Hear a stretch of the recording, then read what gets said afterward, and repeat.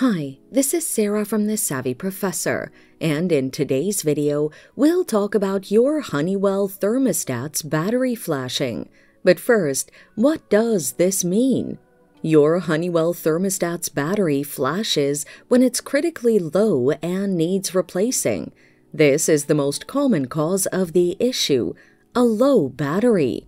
Now, let's look at the best solutions you can apply to fix the problem. Replace the battery. Consult your manual to know which batteries to get for your Honeywell thermostat. Get the replacement batteries and switch off your thermostat. Remove the Honeywell thermostat's faceplate from the wall. Most models snap in place and don't require screws. Therefore, gently pull the faceplate from the wall. Flip the faceplate to access the battery compartment. Some models have a battery compartment on the side. Again, consult your manual to know how to access the battery compartment on your thermostat.